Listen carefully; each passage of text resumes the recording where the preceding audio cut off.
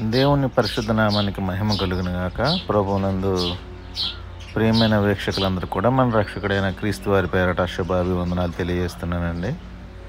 ఇక్కడ నేను మీకు చూపిస్తున్న ఈ ప్రాంతము ఇజ్రాయేలు మరియు లెబనాను దేశం యొక్క సరిహద్దు భూభాగం ఇప్పుడు మీరు చూస్తున్నారు. దీనికి దగ్గరలోనే మనకి హెర్మోన్ పర్వతం కూడా కనపడుతుంది ఇక్కడ నుంచి మనం చూస్తే. ఇప్పుడు మీరు చూస్తున్నదంతా కూడా లెబనాను భూభాగము. అయితే నేను ఇజ్రాయేల్ ఎండింగ్లో ఉండి నేను ఈ యొక్క వీడియో తీస్తూ ఉన్నాను. మనకి ఎదురుగా ఉన్నదంతా కూడా లెబనాన్ భూభాగము.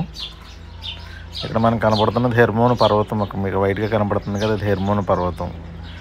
అయితే ఇది ఇజ్రాయెల్ సెక్యూరిటీ డిపార్ట్మెంట్ ఇదంతా కూడా.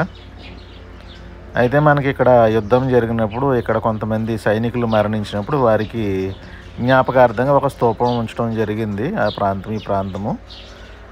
లెబనాను సరిహద్దులో యుద్ధం జరిగినప్పుడు ఈ ప్రాంతంలో అనేక మంది సైనికులు చనిపోయినప్పుడు వారి జ్ఞాపకార్థంగా ఒక స్తూపాన్ని సరిహద్దు భాగంలో ఉంచడం జరిగింది. ఆ ప్రాంతం నుంచి నేను ఈ వీడియో తీస్తూ ఉన్నాను. అయితే దీనికి మరొక ప్రాముఖ్యత ఏంటంటే ప్రవక్త అయిన ఏలీ గారు కాకుల చేత మరి అరణ్యంలో పోషింపబడిన తర్వాత అక్కడ ఆయనకి త్రాగడానికి నీరు అయిపోయినప్పుడు దేవుడు బయలుదేరి మరొక ప్రాంతానికి వెళ్ళమన్నప్పుడు ఈ ప్రాంతం గుండానే మరి ఏలియా గారు ఈ లెబనాన్ ప్రాంతంలో ప్రవేశించడం జరిగింది. సారేపతోను ఊరికి ఆయన వెళ్ళినప్పుడు సారేపతోనూరులో ఒక విధురాల ద్వారా దేవుడు మరి ఏలియా గారిని పోషించడం మనం పరిశుద్ధ గ్రంథంలో చూస్తాం కదా. అయితే ఈ మార్గం గుండానే మరి ఏలియా గారు ఈ లెబనాను దేశంలోకి ప్రవేశించడం జరిగింది.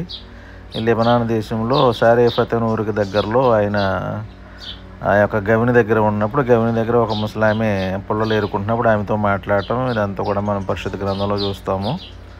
అయితే దీని ప్రాముఖ్యత ఏంటంటే ఈ యొక్క లెబనాను అలాగే ఇస్రాయేల్ దేశం యొక్క సరిహద్దు భూభాగం ఇది.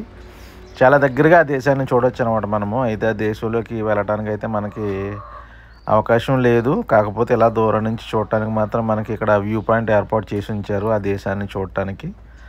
ఆ దేశాన్ని ఇప్పుడు నేను మీకు చూపిస్తూ ఉన్నాను. అయితే నేను ఇజ్రాయెల్ దేశంలో చివరి భాగంలో ఉన్నాను. అయితే దానికి ఎదురుగా ఉన్నదే లెబనాను భూభాగం అనమాట చాలామంది సందర్శకులు ఈ ప్రాంతానికి వచ్చి లెబనాన్ దేశాన్ని చూడటానికి ఈ ప్రాంతానికి వస్తూ ఉంటారు. ఎందుకంటే లెబనాన్ పర్వతాలు చాలా అందంగా ఉంటాయి. చాలా అంటే చాలా అందంగా అద్భుతంగా ఉంటాయి. ఆ ఆ పర్వతాల మధ్యలో మనం ప్రయాణం చేస్తూ వెళ్తూ ఉంటే ఒక వేరొక ప్రపంచంలోకి మనం వెళ్ళినట్టు ఉన్న అనుభూతి మనకి కలుగుతూ ఉంటుంది. ఈ ప్రాంతంలో మనం ప్రయాణం చేసినప్పుడు.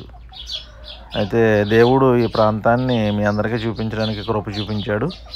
దీన్ని బట్టి దేవునికి మహిమ ఘనత ప్రభావాలు కలిగినగాక వీడియోని వీక్షించిన మీ అందరినీ కూడా ప్రభువు దీవించి ఆశీర్వదించిన గాక. ఇటువంటి అనేకమైన మంచి మంచి విషయాలు మీ అందరికి కూడా చూపించడానికి ప్రభువు కృప చూపించాలని చెప్పి ప్రార్థన చేయండి.